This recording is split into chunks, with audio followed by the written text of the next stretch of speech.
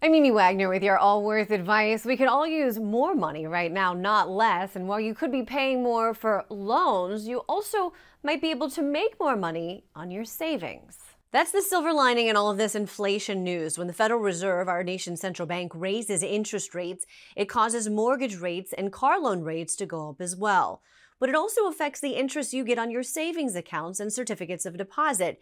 Here's where you can make some money right now. Start by checking what your bank is offering for your savings account. At the beginning of the year, it wasn't uncommon for savings accounts to offer about half of 1%.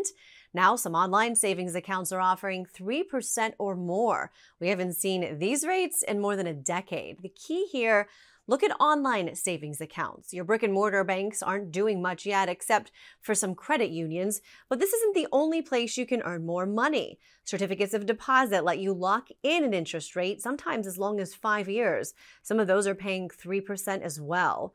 And Series I bonds, which are a little tricky to work with, are actually paying more than 9.5% for six month periods right now. Here's the Allworth advice. No question, inflation is going to take a bite out of your budget right now, which is why it's so important to look at more ways that you can make some money, especially with the money that you're saving. With your Allworth advice, I'm Amy Wagner.